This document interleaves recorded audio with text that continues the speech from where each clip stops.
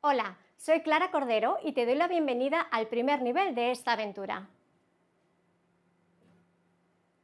Mi misión aquí es guiarte a través de este primer nivel para conseguir unos objetivos claros. Conocer los antecedentes de la gamificación, definir la gamificación, sentar unas bases que nos permitan profundizar en su contenido,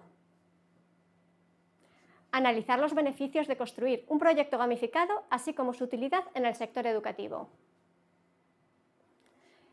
Investigar acerca de la gamificación para comenzar un proceso de curación de contenidos que te lleve a implicarte de manera activa en el curso. Y tener claro por qué la gamificación se configura como un proceso plenamente activo.